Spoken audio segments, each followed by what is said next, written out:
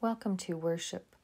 Today is Sunday, May 10th, 2020, and on behalf of St. John's Wardsville and Glencoe Presbyterian Churches, we pray that this will be a time that you are renewed and blessed by our Lord Jesus Christ and that you find much peace in our time of worship together.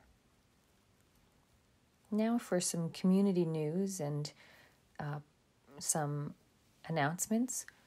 First of all, happy Mother's Day to all of the women out there, and also a happy Mother's Day uh, to those of you who are mentors to people in our community and at large. Together we can overcome by the Southwest Middlesex Community Support Committee. The Glencoe Ministerial uh, and Southwest Middlesex Municipality, St. Vincent de Paul Food Bank, and the Regeneration Center have partnered to provide our community with support uh, via a phone line, and that phone number is 519 930 1012. Coming from First Chronicles 16, and you'll see on the screen that this is. Uh, there's a drawing at the top, and this is my nephew Sam who drew this for his homework for school. And so the passage that he focuses on is, Oh, give thanks to the Lord, for he is good, for his steadfast love endures forever. As we come, let us worship God. Let us join our hearts and our voices. I hope you'll enjoy this first piece of music, and it is repetitive, so you will be able to join in at some point if you'd like to as you're listening. But just before we do that, I'd like to invite you to think of all of the images that come to your mind when you think of the perfect mom. Now think of your mom. Think of if you are a mom, what you are like. Can you smell your mom's favorite perfume? The baked apple pie or cookies, the roast chicken in the oven. So you see her at your recital, perhaps? Or cheering from the sidelines or stands? Is she wearing her work uniform or sipping on a cup of tea or coffee? Is she strong and throwing hay bales or delicately painting her nails or applying her makeup? Is she smiling or praying? Laughing or crying? Running toward you or driving away down the road? Where is your mother's favorite place to be, past or present? And where do you like to go? To think about her and to feel close to her when you cannot be near her. For obvious reasons of social distancing, work commitments, or geography, perhaps she has passed away and returned home to our Lord. How do you draw close to your mother, your mom, your Mimi, your mumsy, your mama, your ma, your mentor, and perhaps friend, best friend? Today, remember your mother and give thanks.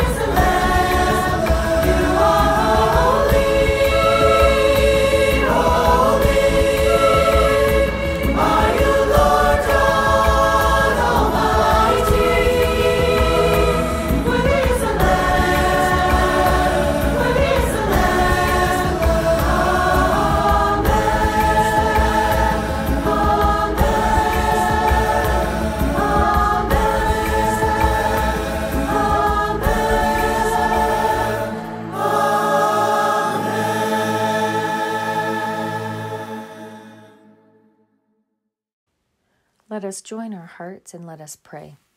Gracious God, for the gift of this new day and this time of worship, we thank you.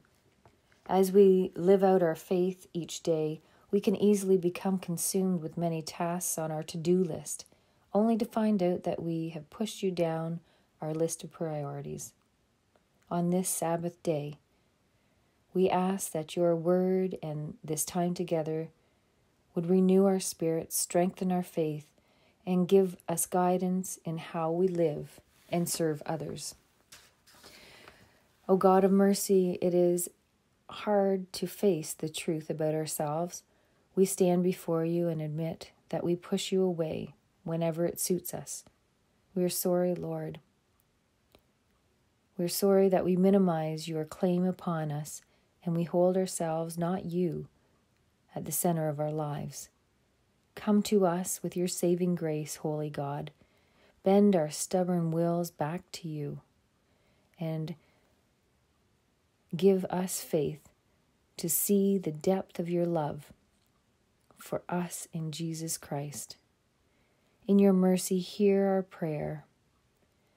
And as we give thanks for our mothers, we give you thanks for your Son, Jesus Christ, who taught us to pray together, saying, Our Father, who art in heaven, hallowed be thy name. Thy kingdom come, thy will be done, on earth as it is in heaven. Give us this day our daily bread, and forgive us our sins as we forgive those who sin against us. And lead us not into temptation, but deliver us from evil. For thine is the kingdom, and the power, and the glory, forever. Hear and receive the good news, friends. You are given the sight of faith. You are released and set free from all that would hold you captive. You are forgiven by the death and resurrection of Jesus, our risen Lord. Thanks be to God. Amen.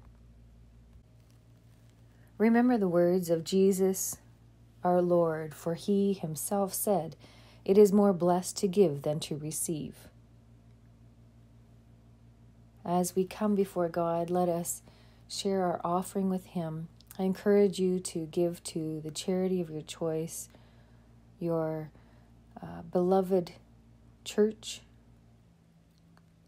or however you are able to give and support those around you. Let us come before God in prayer. Gracious God, we give you but your own. Everything we have comes from you. Every impulse to love one another comes because you first loved us. Send your Spirit to make us ever mindful of this, we pray. Through Christ our Lord. Amen. Our scripture reading comes from the Gospel of John, chapter 14, verses 1 through 14. Jesus, the way to the Father. Let us hear God speak to our hearts. Jesus says, Don't let your hearts be troubled. Trust in God and trust also in me. There is more than enough room in my Father's home. If this were not so, would I have told you that I am going to prepare a place for you? When everything is ready, I will come and get you. This so that you uh, will also be with me where I am, and you know the way to where I'm going. No, we don't, Lord, Thomas said. We have no idea where you are going, so how can we know the way? Jesus told him, I am the way, the truth, and the life. No one can come to the Father except through me. If you had really known me, you would know who my Father is. From now on, you do know him, and you have seen him. Philip said, Lord, show us the Father, and we will be satisfied. Jesus replied, I have been with you all this time, Philip, and yet you still don't know who I am? Anyone who has seen me has seen the Father. So why are you asking me to show him to you? Don't you believe that I am in the Father and the Father is in me? The words I speak are not my own, but my Father who lives in me does his work through me. Just believe that I am in the Father and the Father is in me, or at least believe because of the work you have seen me do. I tell you the truth, anyone who believes in me will do the same works I have done, and even greater works, because I am going to be with the Father. You can ask for anything in my name, and I will do it, so that the Son can bring glor- glory to the Father. Yes, ask me for anything in my name, and I will do it. Thanks be to God for his holy and everlasting word. Amen. Let us join our hearts in prayer. Now may the words of my mouth and the meditations of our hearts be pleasing to you, O God, our rock and our redeemer. Well, the first words that Jesus says in this passage are do not let your hearts be troubled. And these are words that we often hear uh, read at uh, a funeral, and that might be of a loved one or a friend. And we find great comfort knowing that uh, Jesus goes ahead to prepare a place for us. And we think of that physical place. We think of a mansion, a house with many rooms. And if it were not so, he would have told us. But there's also another message here, too. But we have to go back a little bit into chapter 13 and consider what was happening at the beginning of this conversation. And what we find out is actually that Jesus was predicting Peter's denial. And so Peter, he has a question for Jesus and he says, Lord, where are you going? And Lord, why can't I follow you now? I will lay down my life for you. And Peter didn't really know what he was saying. We often make commitments to people and then suddenly uh, we break them. And interestingly, though, Jesus answers Peter right away and he says, Will you really lay down your life for me? I tell you the truth. Before the rooster crows, you will deny me three times. And Peter was taken aback by this. He was confused. Now, if we were to continue reading, we would hear that Jesus would say this, and he would say, I tell you the truth, before the rooster crows, you will deny me three times. You will disown me three times. Do not let your hearts be troubled. Trust in God, trust also in me. Believe in God, believe also in me. So he's saying, I've got you. I've got your back. You're going to be okay. Even in the midst of sin and what we would say, how could Jesus ever, ever allow Peter back into his fold? And these words, if you uh, recognize them, then you might find great comfort when you hear them read at a funeral. But I want to invite you to think just a little bit deeper where these words go. They cut to the heart. They're about your heart and my heart connecting with Jesus. They're intimate words. They're words about abiding and living in Christ, in that place, in his heart. And if you can, and can imagine yourself doing a jigsaw puzzle and you've got 500 or 1,000 pieces and you have the last piece to put to complete the picture. And you can't wait to get it done. You've worked on this so hard and now the picture is nearly complete. And suddenly you're missing one piece. One piece. Where could it be? Finally, after days of looking, you find it and you inter- put that piece into those interlocking parts, and suddenly it's complete. And that is the heart that Jesus prepares for us, inside of us, to meet Him in heaven. That home is our heart. And He offers words to the disciples and to us not as Jesus offering us himself as a security blanket, or to cover up our grief or our sorrow and our struggles. Rather, Jesus calls, uses words and calls us home.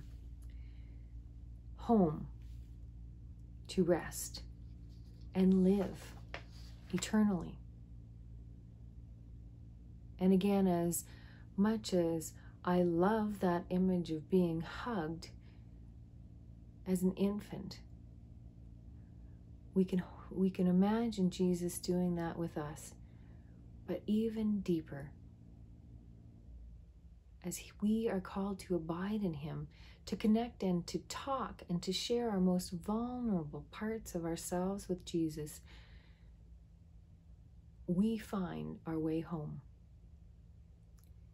Each time we share a part of ourselves with Jesus, we find our way home, one step closer. So consider this. When was the last time you had a conversation with Jesus? In prayer, but a conversation where you shared your deepest hurts or vulnerable parts or struggles, secrets that maybe you've never told anybody else before. In the midst of grief, the unknown future, Jesus does not wag his finger at us and he doesn't say, get it together and put on your brave face. Get your game face on. We got business. Not at all. In fact, Jesus says just the opposite. He gives you and me permission to admit that we cannot control the things that trouble us. Instead, he invites us to find our comfort in connection, in a relationship with Him.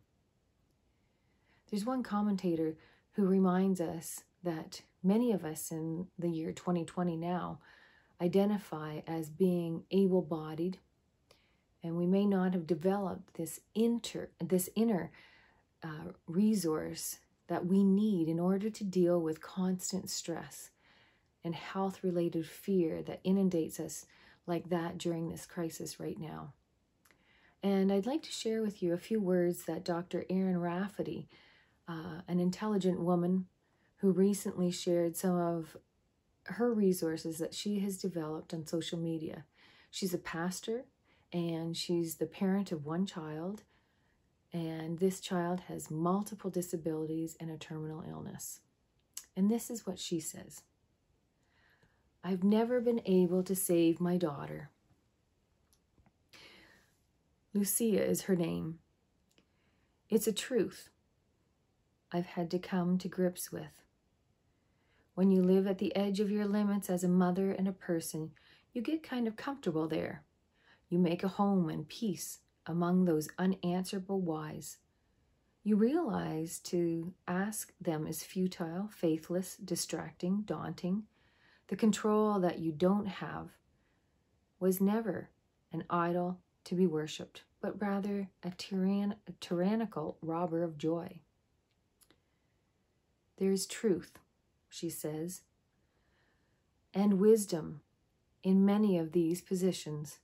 We can't save ourselves. We can't prevent this virus. If we could, we would have done it by now.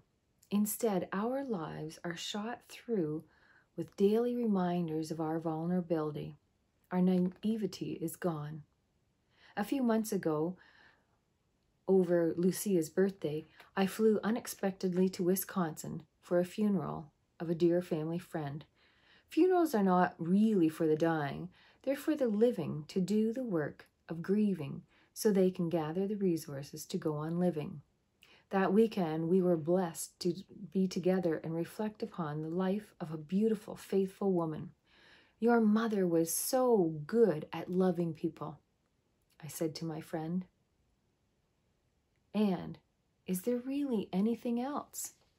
I began to wonder. This is something this week that keeps coming across my mind. Is there anything more important, more beautiful than a life that has been based on loving people and being good at it in whatever way we do? She continues and she says, Grief and love are the twin conditions in which we've had to make our home in these coronavirus days. To acknowledge the former, in light of isolation, suspended gatherings, especially funerals interrupted, doesn't always seem to help. In other words, it doesn't seem to help to know that what you're going through is grief these days.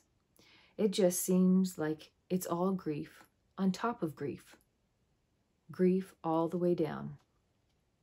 Indeed, I worry increasingly that our vigilance around social distancing, self protection, and isolation in the face of fear so easily turns from care to coercion. Human beings are, have always clung to a logic around life and death that privileges healthy and able bodied people because it makes most of us feel better than facing the unknown of death that we'll never be able to control. Even that logic won't really save us, and it definitely won't save us from pain or from grief.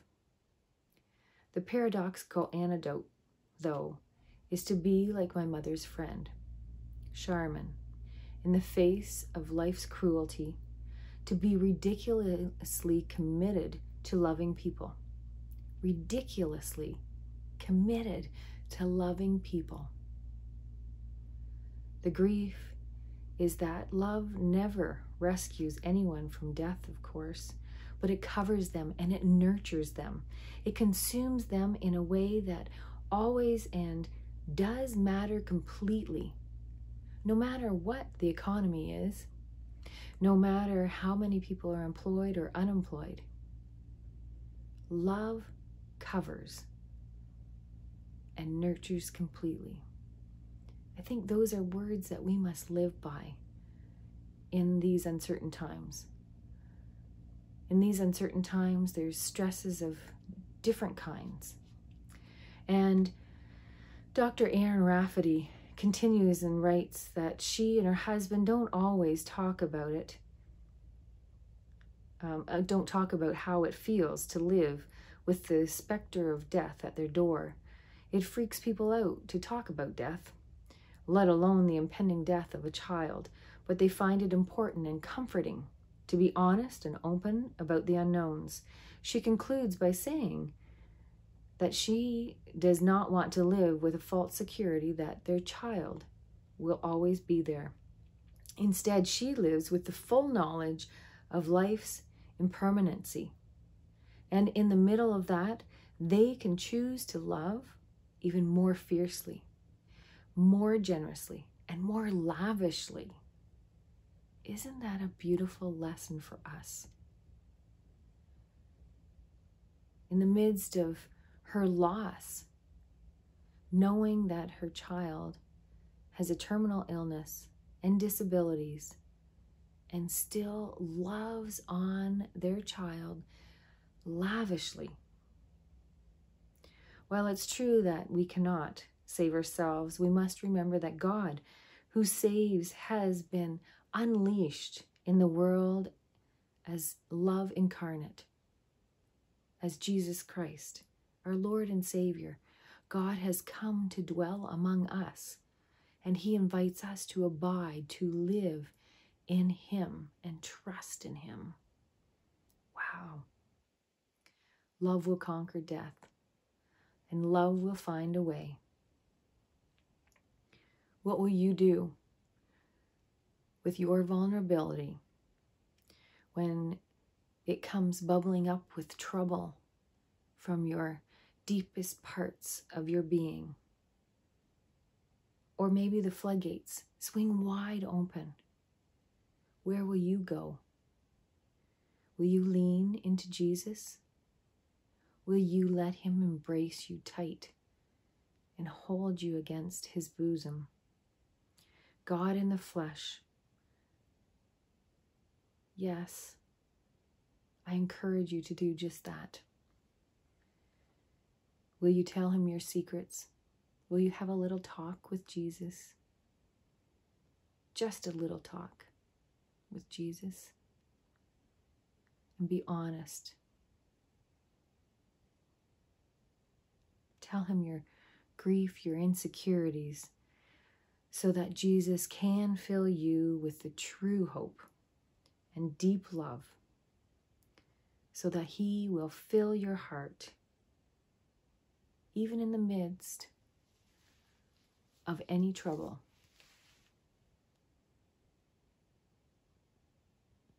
Trust Him. Believe in Him.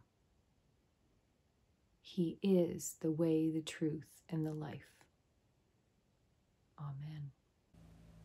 Please enjoy this hymn written for mothers as a way to say thank you. Thank you to our moms.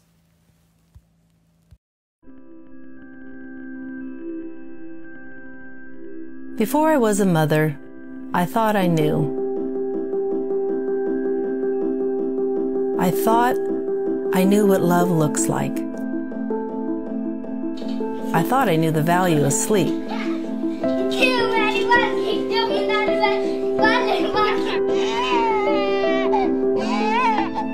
I thought I knew the sound of success. Before I was a mother, I thought I knew the beauty of a prayer, the potential of my joy, the length of my patience.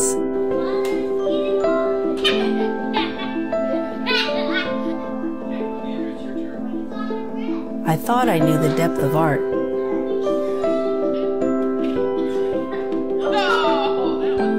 The soul of laughter.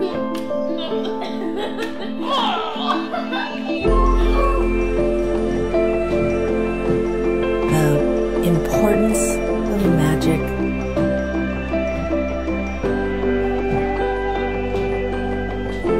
Before I was a mom, I thought I knew the stress,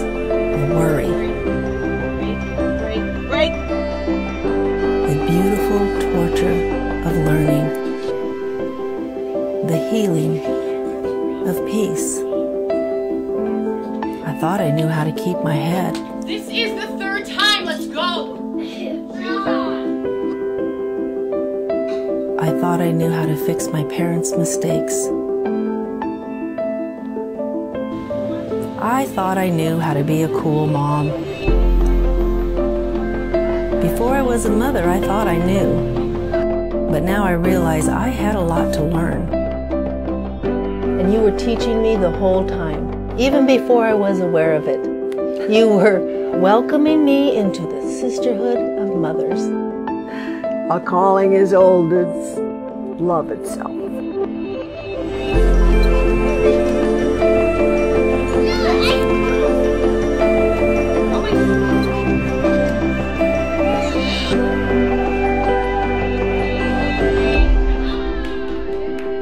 You never grow out of